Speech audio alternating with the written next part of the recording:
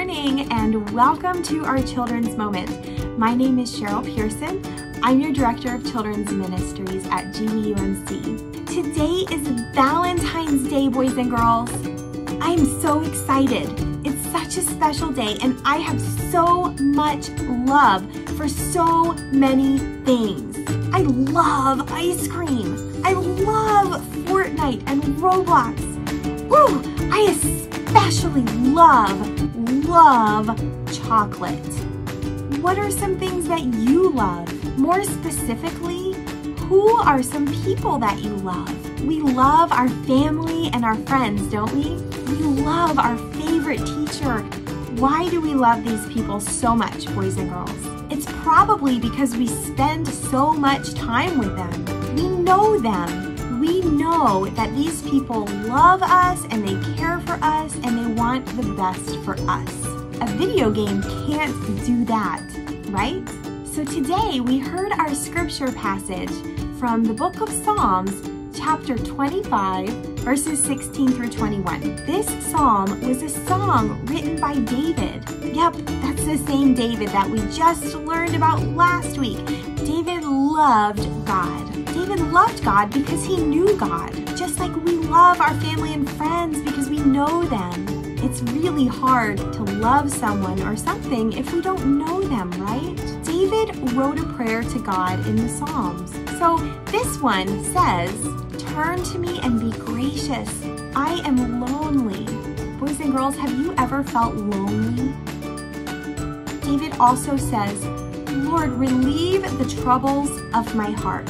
David also writes, Lord, take away my sins. Boys and girls, I don't know about you, but I have a lot of sin in my life.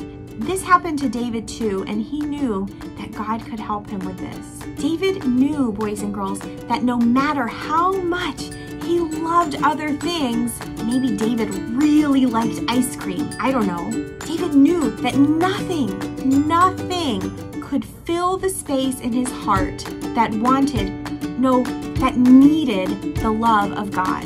God created us to be loved by Him and to share love with others. So, how do we do that, boys and girls? We already decided that in order to love someone or something, we have to know them, don't we? So, boys and girls, do you love God? Or better yet, do you know God? If we love someone, we spend time with them, don't we?